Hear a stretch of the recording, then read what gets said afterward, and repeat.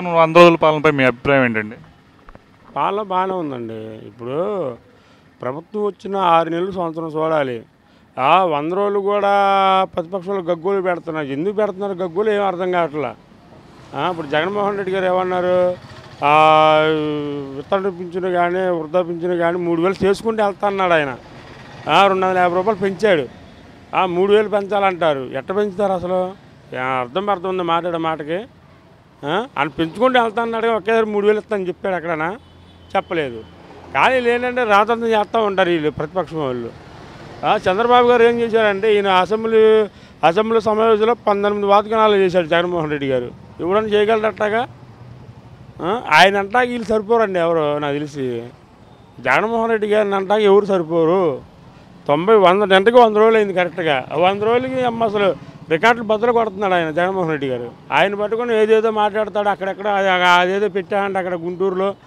అడ్వాణులు వాళ్ళు వస్తే ఏదేదో మాట్లాడుతూ ఉంటారు. చెత్త వాగులన్నీ మాట్లాడుతూ ఉంటారు. అర్థం అర్థం ఉంటుంది మాట్లాడే మాటకు కూడా. అదేమంటే మా వాళ్ళని చంపేస్తున్నారంట. ఎవరు చంపారండి?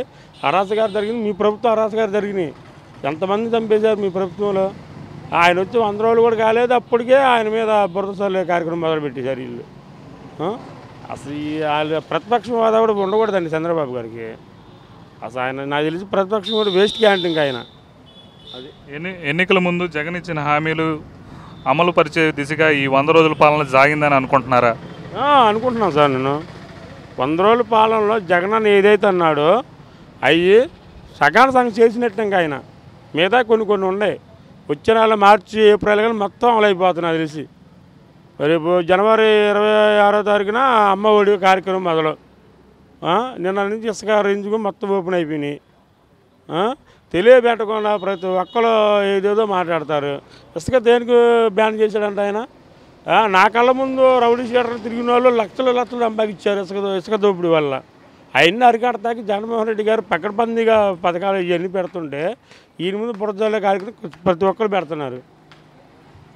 జగన్ వంద రోజుల పాలన పోలవరం ప్రాజెక్టు విషయంలో హైకోర్టు నుండి చిక్కు ఎదురైంది అదేవిధంగా రాజధాని విషయంలో దుమారం రేగింది. ముందు ముందు ఎలా ఉండబోతుందని అనుకుంటున్నారు? రాజధాని విషయంలో అంటే రాజధాని మరి మారడండి. రాజధాని ఇదే అమరావతి. ఏంటి?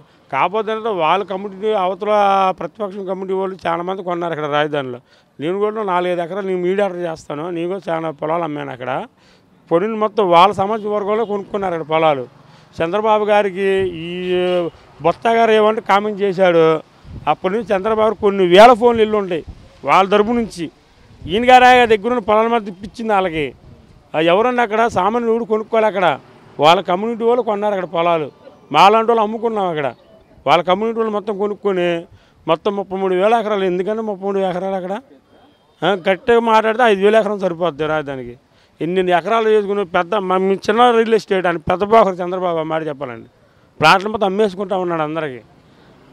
మేము ఒక ఐదు ఎకరాలు అమ్ముంటాయి నేను మీడియాటర్గా. మా అంటే ఒక లక్ష రెండు లక్షలు వచ్చి ఉంటాయి నాకు. చంద్రబాబు గారు వేల వేల కోట్లు అమ్మేసుకుంటా ఉన్నాడు అక్కడ కూర్చుని. ఆ, అసలు వేస్ట్ అండి బాబు. ఆయన ఏం మాట్లాడితే ఆయనకే తెలియదు చంద్రబాబు గారు. పోలవరం అంటారా? అది దాని గురించి మన అవగాహన లేదు. కానీ జగన్ అన్న న్యాయం చేస్తాడు. అన్యాయం చేయడు జగన్మోహన్ రెడ్డి మాట అన్న మాట ప్రకారం నడుస్తాడు. ఈయనకి మళ్ళీ లుచ్చారాగిం చేయడు ఆయన. చంద్రబాబు మళ్ళీ. జగన్మోహన్ రెడ్డి గారు ఆ రాజశేఖర రెడ్డి వారసత్వం కాబట్టి మడవం తప్పడు మాట తప్పడు. నమ్మకం ఉంది గట్టిగా. Please subscribe Myra Media. Please subscribe Myra Media. Please subscribe Myra Media. Myra మీడియాకి సబ్స్క్రైబ్ చేయండి. మైరా మీడియాకు సంబంధించి దాన్ని సబ్స్క్రైబ్ చేసుకోండి. Please subscribe Myra Media subscribe Myra Media చూడండి ఎంజాయ్ చేయండి